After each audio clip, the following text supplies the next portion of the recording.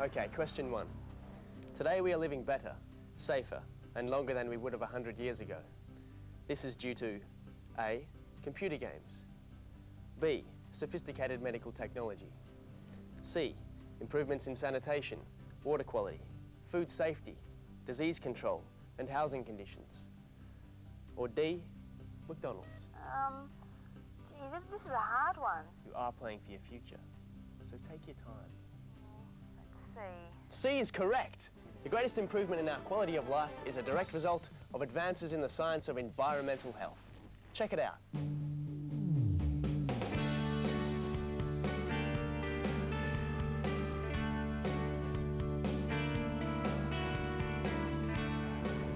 Environmental health is concerned with all the physical, biological and social conditions which can impact on people's health and well-being. Noise, air and water pollution, exotic diseases, toxic waste, stress and high-density living. The 21st century is throwing a lot at us. So gonna call? An environmental health officer, that's who. Today's EHOs are highly trained professionals with wide-ranging responsibilities. And they're everywhere, from cafe strips to tattoo parlours and prisons, from clubs to remote communities, from toxic spills to natural disasters, in the air and underwater. EHOs are employed by state and federal departments, including health departments, environmental agencies, quarantine services and local councils. In the private sector, they work for major airlines and hotel chains, as well as large catering and retail organisations. But enough talk. Let's meet some EHOs. I'm the Environmental Health Officer for the City of Subiaco. My job has all the variety and challenges that you'd expect from a densely populated, vibrant and cosmopolitan inner city area. This is a major holiday destination and people come here to enjoy the coast, everything from swimming and boating to crabbing and fishing. It's my responsibility to ensure that the environment does not adversely impact on people and vice versa. I work for a large local council. My interest is in health promotion. You could say that my job is to change the way people think about their health. What does your work involve? On any given day, I could be handling resident inquiries, providing training in safe food handling, carrying out food premises inspections, discussing with architects the health requirements for a proposed restaurant, or ensuring compliance with the Food Standards Code so that customers know exactly what they're getting. My work is largely project-based. I identify a need in the community and if I can prove my case, I generally run with it. For example, I identified the need for a concise, jargon-free booklet which dealt with a wide range of women's health issues. It was a great success and led to a booklet on men's health. That led to one on young men's health. I've received a great response, heaps of letters and requests for the books coming from all over Australia. I see myself as a catalyst to make things happen. My work can involve handling ratepayer inquiries, sampling seafood to make sure that it's safe, checking that the waterways aren't being overstressed, looking out for toxic algal blooms and harmful bacteria, and assessing caravan parks. In fact, the further you get away from the metropolitan area, the more diverse the job becomes. What are you doing right now? Right now, I'm at Subiaco Oval with 40,000 fans. It's my job to ensure their health and safety while they're at the game. Every year, the Oval serves over 15,000 burgers, 23,500 pies, around 67,000 buckets of chips, and close to 21,000 hot dogs. That's about 126,000 chances of getting food poisoning, but it's my job to ensure that doesn't happen. Here I'm testing the temperature of this hot food with an infrared thermometer. 75 degrees, perfect. I also provide advice on safe food handling practices. Hat, hairnet, gloves, great.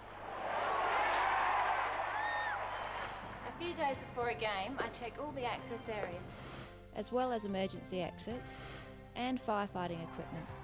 This is to ensure that any emergency doesn't become a disaster. And I'm not just responsible for the well-being of the fans.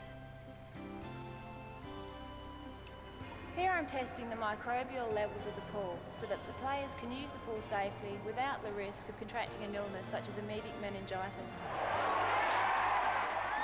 I'm now testing the chemical levels of the pool. 7.6, perfect.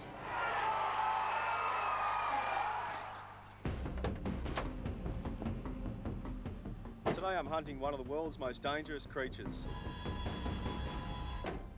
mosquito. These little suckers are responsible for more deaths worldwide than all the dangerous animals combined.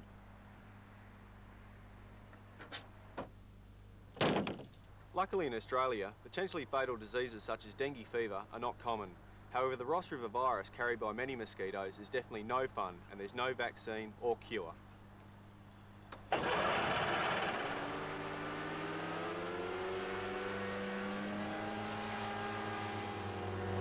Some mosquitoes can travel up to 10 kilometres and even further just to get a blood meal. That means the entire town is at risk.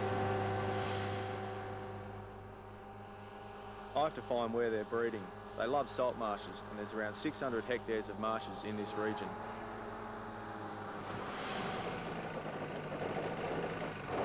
Around 30 sites are surveyed regularly in order to make a decision. This is a likely spot here.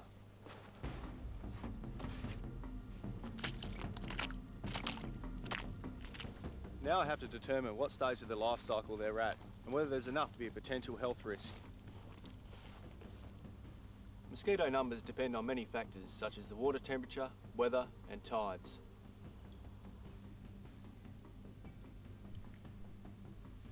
Yep, these larvae are second instars, so in this heat it'll only be a couple of days and they'll be ready to fly.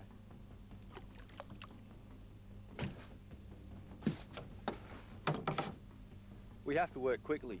In summer, the breeding cycle speeds up and can be as short as four to five days.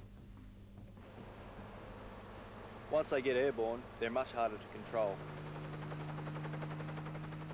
Once I'm certain we've got a problem, I've got to choose the correct chemical to use and the best control method, which is usually aerial application of a larvicide by helicopter.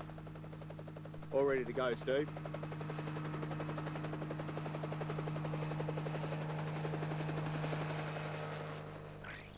Well, here we are on Sunday afternoon in a major shopping centre and about to set up a display for Men's Health Awareness Week. Regardless of the display's size, there's always a million things to do.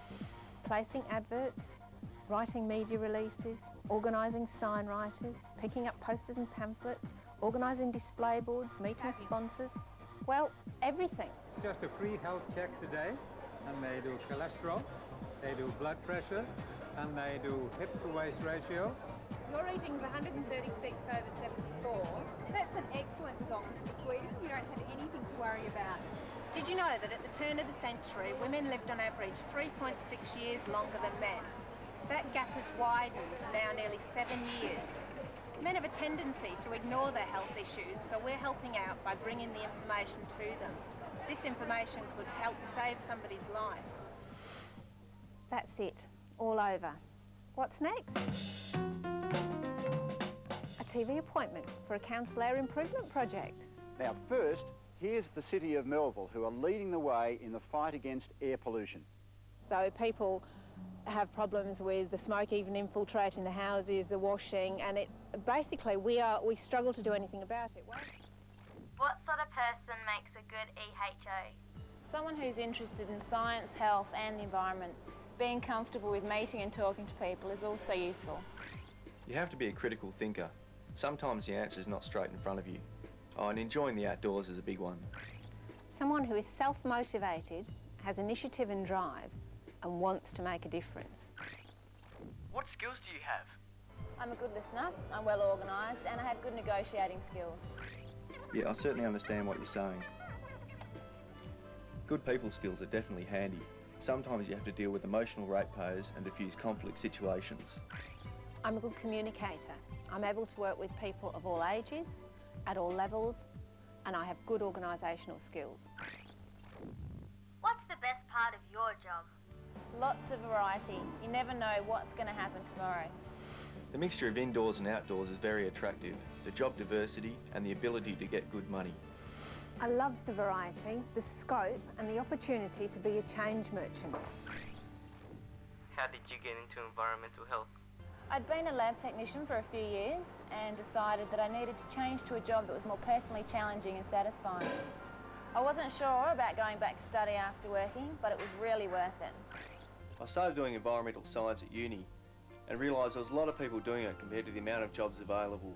Then I saw a speaker from environmental health and thought, wow, that sounds really good. At high school, I didn't know what I wanted to do. My dad worked in local government and arranged for me to do work experience in environmental health. I was struck by how much there was to the job. So here I am. Thanks, Dad. Ah, You having fun. For sure, there are times when it's not that great, but then in the next instant, something happens that just lifts your day. Definitely. The job is fantastic. I work with a great team and have the opportunity to actually make a difference. Absolutely. I love the creativity and the achievement. And things are happening just because I thought it was a great idea. The way to get into this well-paying, interesting and challenging career is by getting a Bachelor of Science degree in Environmental Health from Curtin University. The course is as varied and interesting as the career. It's hands-on with heaps of lab work, field work and professional experience. For further information, contact the Department of Environmental Health, Curtin University of Technology, GPO Box U1987, Perth, WA 6845. Or check out the website